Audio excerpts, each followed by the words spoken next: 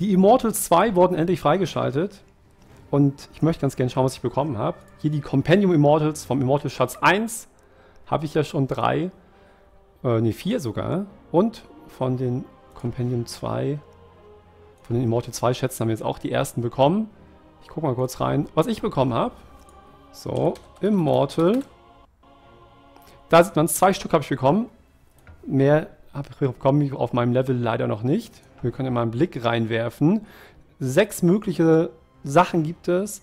Basher Blades für einen äh, Anti-Mage, dann für einen Faces Void sieht man es und und und. Wir machen jetzt einfach mal auf, da.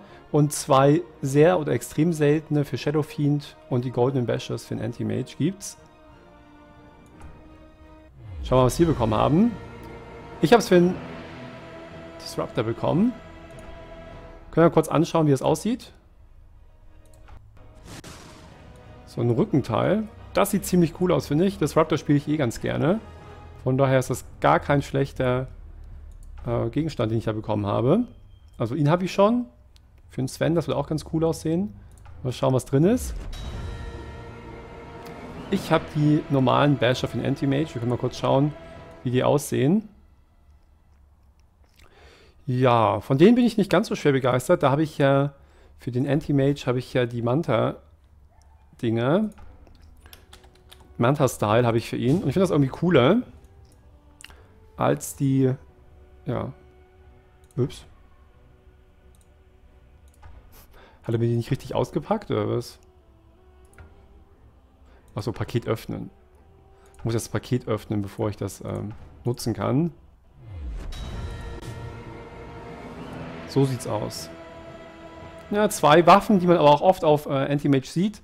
Sowohl Basher als auch Manta-Style. Beides Items, die ja auch zum Anti-Mage passen. Von daher nicht so schlecht. Ja. Ja.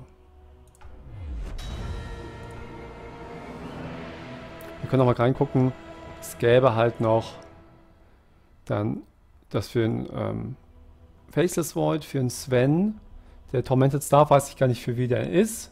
Dann Roller Master sieht auch ganz cool aus und für Shadow Fiend und die goldene Version, ähnlich wie es die goldene Version von dem Luna Schild gibt. Und was Immortal Schatz 3 bereithält, wird man sehen, sobald wir, ups, 11 Millionen Dollar erreicht haben, glaube ich. Schauen wir mal ganz kurz. Meilensteine.